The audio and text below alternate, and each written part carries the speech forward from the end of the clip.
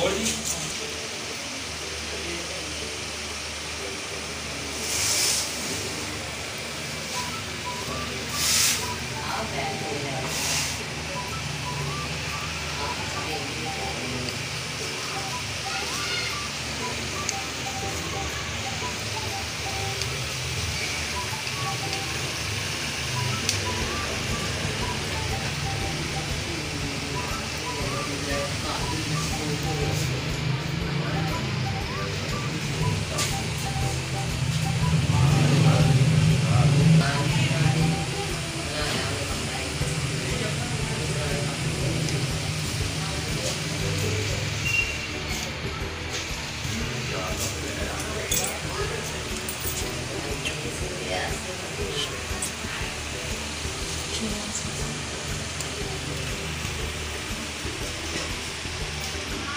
जी हमारे अल्लाम वीवर्स। मैं दुआ कुकिंग में हाजिर हूँ और आप देख रहे हैं मेरा YouTube channel Dua cooking. Viewers, आज मैं फिर पाए की रेसिपी लेकर आई हूँ। मैंने पहले मटन के पाए दिए हैं। मटन के पाए की रेसिपी दी और आज मैं बड़े के पाए की रेसिपी लेकर आई हूँ और ये भी बहुत मज़े के और यमी पकते हैं। और ये भी सेम उसी तरह पकेंगे। ये भी सारी रात इसको बॉयल करने के लिए रखा जाता है। जब इसकी यखनी चिपकने लगे हाथों को तो समझें ये रेडी हो चुके हैं। ये मैंने इसी तरह तैयार किए हैं। आप देख सकते हैं इसकी यखनी का कलर और ये पाए बिल्कुल बड़े के गल चुके हैं। ये बोंग का गोश्त है इसमें। इसमें बोंग का गोश्त डाल के बनाते हैं। मटन में आप मटन पक के पाए में आप जो है ना बोंग का गोश्त नहीं डालते। मैंने बड़े के पाए में बोंग का गोश्त डाला है और ये रेडी है। अब मैं चलती हूँ अपनी कुकिंग की तरफ़। आगाज़ करती अपनी कुकिंग का। आज की रेसिपी हमारी है। बड़े के पाए, चलते हैं अपनी कुकिंग की तरफ़। जी वर्स हमारे जो घी है, वो गर्म हो चुका है इसमें डाल दूँगी प्याज। प्याज करेंगे ब्राउन अच्छी तरह, और इसमें डालेंगे मसाले, और हम अपने बड़े के पाए रेडी कर देंगे।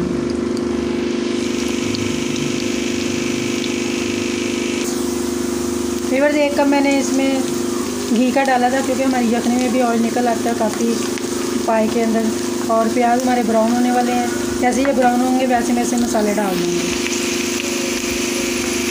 ये हमारे मसाले हैं, वीवर, ये टमाटर पीसे हुए हैं आधी चम्मच हल्दी है, एक चम्मच पिसा धनिया आधी चम्मच नमक, क्योंकि हमने यखनी में भी नमक डाला था, जो लहसुन अदरक का पेस्ट है, और एक चम्मच लाल मिर्च है।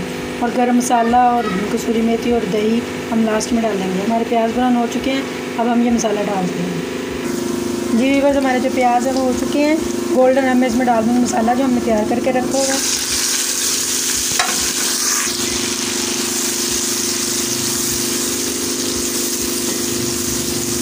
जब ये हमारा मसाला रेडी हो जाएगा, फिर हम दही और गर्म मसाला ऐड करके इसको भून कर और बड़े के पाइस में डाल देंगे और यखनी डालकर दम लगा देंगे।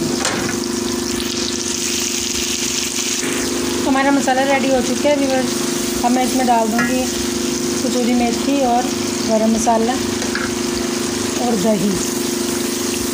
ये डालकर हम इसको भून कर अच्छी तरह से और लास्ट में हम इसमें पाए डाल देंगे। वीवर्स आप दही को स्किप भी कर सकते हैं टमाटर की वजह से।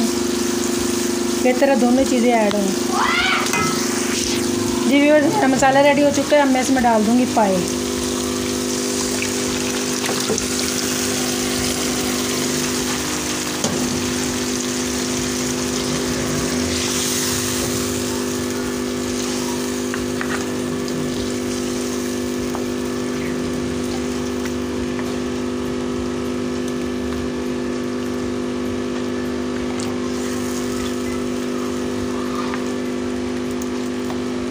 इसको भून लेंगे पाँच, दस मिनट, उसके बाद हम इसको, इसकी बकिया जो यखनी है वो डालकर इसको कवर कर देंगे। अभी भी हम इसको कवर कर देंगे। कवर करके पकाएँगे।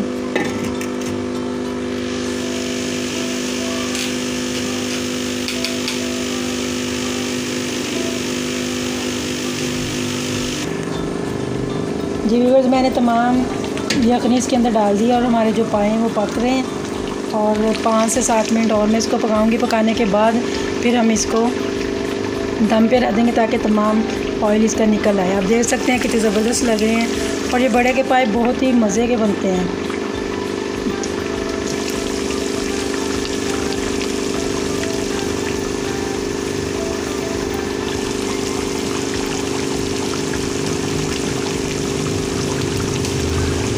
इसको करेंगे हम फिर से कवर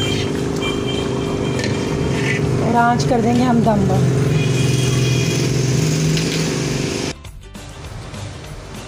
जी वीवर्स हमारी जो पाए की रेसिपी रेडी हो चुकी है, और आप देख सकते हैं, और आप देख सकते हैं बहुत यमी लग रहे हैं, और आप देख सकते हैं, बहुत ज़बरदस्त और लग रहे हैं, ये रेडी हो चुके हैं, अब यखनी इसकी ये पाए की यखनी बहुत मज़े की होती है। और वीवर्स इसके साथ मैं इसको गार्निश करूँगी हरी मिर्च के साथ। जी वीवर्स आज की रेसिपी बड़े के पाए। आपको अच्छे लगे तो प्लीज़ मुझे लाइक कीजिएगा, मेरे चैनल को सब्सक्राइब कीजिएगा और बेल आइकन को ज़रूर प्रेस कीजिए ताकि मेरी आने वाली न्यू रेसिपी का नोटिफिकेशन सबसे पहले आप तक पहुँचे और मेरी रेसिपीज़ को अपनी फैमिलीज़ के साथ ज़रूर शेयर कीजिएगा और दुआ में याद रखिएगा। दुआ को इजाज़त दीजिए। अल्लाह हाफिज़।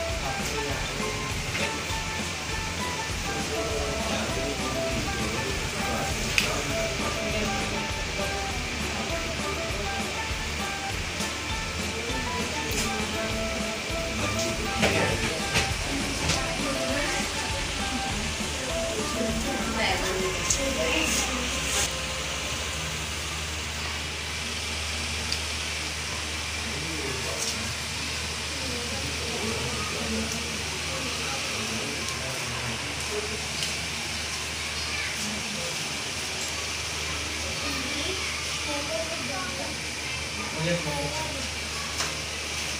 Olha como. Olha como.